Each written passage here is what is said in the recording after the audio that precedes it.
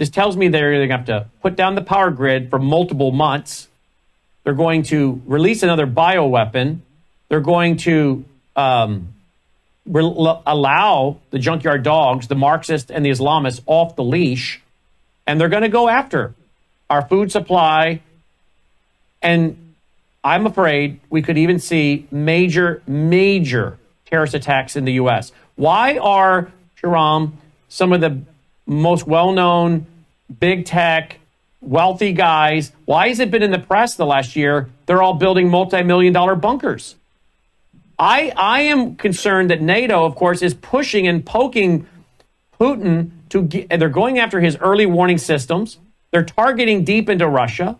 They're using Western weapons to with Ukraine to target deep into Russia, including, as I said, their early warning systems, which Putin cannot let those go down. So that's going to force him to do a preemptive strike, which will give them the narrative. Oh, look at Putin, what an evil guy he is. But here's the other scenario I put out last night. What if this is all to create the narrative, get a reaction from Putin, but Putin isn't the one that lets a nuclear weapon loose in the U.S.? What if it's our own captured CCP Islamic government that releases a nuclear weapon in the U.S. and then blames it on Putin. And I'm not an apologist for Putin. What I am is a presenter of truth in both sides. And we know that this government, from two or three shows we did last year, has carried out multiple false flags against Americans. Tell me, Shahram Hadian, in your mind, why this same government would not rip loose nuclear weapons in the U.S., dirty bombs and nuclear bombs, and blame it on Putin and, and, and use that crisis to depopulate and then to implement a regime in this country under the control of their masters, the CCP. Shahram? Well, I think um, there's no limit to this government. So the way I would answer it is that all bets are off. This government, that I believe is the most corrupt that we've ever had um, in this nation, at the federal level, certainly, and, and in many states, but the political parties uh, are being corrupted. Um, so to me, there's no limit on what they will allow because, as you said, they've done it before. They've carried out harm against their own people. I think that they're they're looking at multiple things they're going to release simultaneously. Uh, they have to depopulate, as you said. This is a major, major and this is, I, I think, Brannon, honestly, when I talk to other Christians, I think the depopulation thing is the biggest thing for Christians to get their minds around. It's like, it's like, okay, yeah, I can see this, I can see that. But when you tell them about depopulation, it's like they just, their minds shut off. It's, it's like they can't handle the concept that these leaders would be that evil and Satan uh, would be that evil to, in, to influence these leaders to do such uh, a genocide against the human population. But that's exactly what they've said. That's exactly what Event uh, Agenda 2030 is about. That's exactly what sustainable development is about. That's exactly what they have to do. Uh, so I think all those are on the table. Um, the only thing I don't know is whether they start carrying this out this fall or whether, as you and I have talked about another scenario, which is they allow Trump to win every indication looks like, in my opinion, that they're setting up for a Trump presidency. Um, whether they've already gotten him to agree to certain things, whether he's just not going to touch certain things because he wants the power back, but hey, you, you can't touch the deep state, and then unleash those things on his watch. I think both scenarios are on the table. It could happen this fall where all these things are unleashed. Certainly, we see the lockdowns coming. I mean, again, it's just how many more warnings can we give to people? But also, I could see the scenario.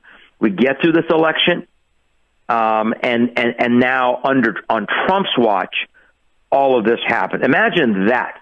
Imagine if that, if that, um, deep state intelligence apparatus under Trump's watch could then come and come after us when those things are unleashed maybe early 2025. Just a thought. Well, we do know that Dennis Meadows, who was one of the founders back in the early 70s of the uh, Club of Rome and Limits of Growth, he, he, we played it last night. He is calling yeah. for bringing the population down to 1 billion. We're at eight billion. It was at seven billion Yep. when he made the video. He's calling for bringing it down to 1 billion people. People don't understand this. You say the Christian community doesn't understand this. And the reason the Christian community doesn't understand this is because largely our pulpits have gone silent on teaching about the occult, about teaching about paganism, the worship of nature, pantheism, panentheism. Uh, I hate to say it, I'm not sure a lot of pastors in America anymore could define pantheism or panentheism.